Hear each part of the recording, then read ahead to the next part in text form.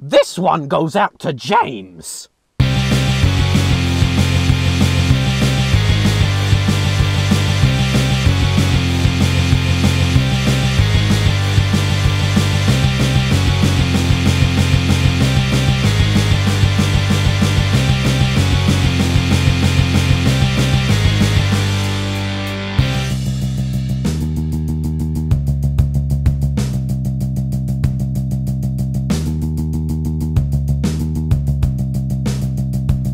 My girl and I were on a nice date at the park the other day.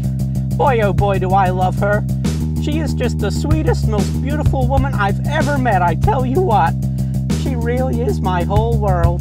I want to spend the rest of my life with her, you know? So anyway, I was planning on proposing to her, right? So I got down on one knee and pulled out the ring, and then who else but James should strut over to us and casually kick me over, and then he gets down on one knee and proposes to my girl with a ring that's like five times as big as the one I had bought, and she actually says yes. So now they're walking away, arm in arm, and before they disappear into the horizon, James looks back and flashes me with the same smug grin he always has. What the hell, James? I was about to ask her to marry me, and then you come along and steal my future wife? Why would you do that? Why? Oh, screw you, James! Screw you, James! Screw you, James! Screw you, James!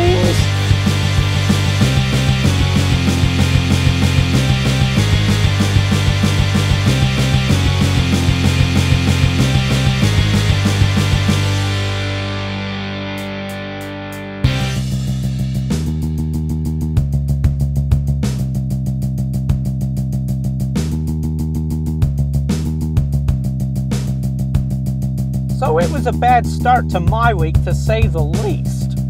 After my no longer future wife was stolen by James, I had been feeling kind of down.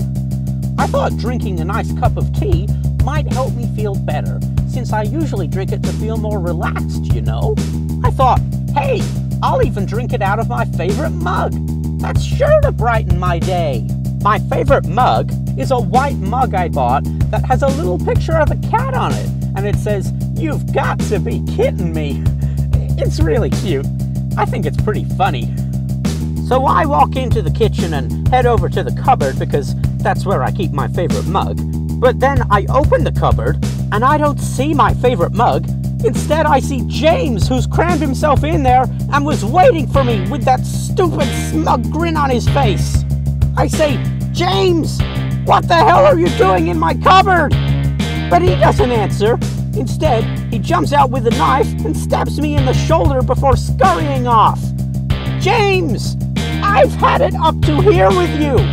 What kind of freak hides in someone's cupboard to jump out and stab them? Screw you, James! Screw you, James!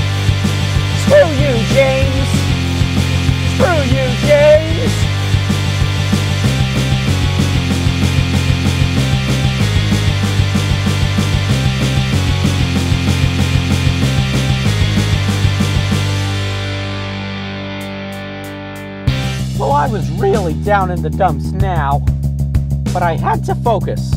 I had a big recital coming up. You see, I'm taking lessons for this small flute like instrument called a fife. I'm being taught by an elderly Japanese man called Mr. Yorimoto. It's not a Japanese instrument or anything, I'm just being taught by a Japanese guy. Anyway, on the day of the recital, I was really nervous. I had gotten all of that James business out of my mind and was fully focused on my fife performance. So I go out there and stand up on the stage and look out at who's in the audience. My family and friends are there, and my dog, and Mr. Yorimoto, of course, and even Ted the Milkman. I'm so glad all of these important people in my life were able to make it today. Boy, I sure hope I don't embarrass myself in front of them.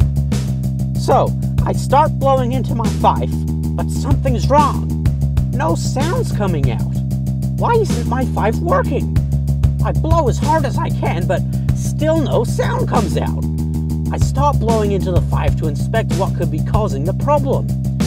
I look into the holes and see three loaves of bread have been stuffed into my fife. Why the hell is bread in my fife? Instruments don't get hungry. And being stuffed with bread makes it hard to play. Confused, I look out into the audience and notice that in the back, behind the lighting desk, is James doing his obnoxious smug grin. James put bread in my fife. He did it to sabotage my recital. James, you maniac! Why are you so intent on sabotaging everything? Ah! Now I'm gonna have to go buy a new fife. Do you know how expensive those are? Suck so much, James. I'm not stupid. You're stupid. You're stupid and you suck. Stupid, sucky James.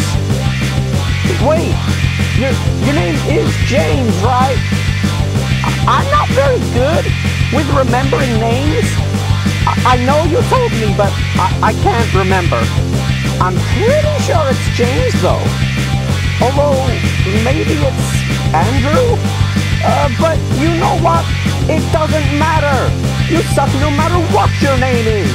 James or Andrew. You suck so much that you'd even suck if you had a really cool name. Like Xavier or, or Ace. Not even being called Ace could make you stop sucking. So screw you, James.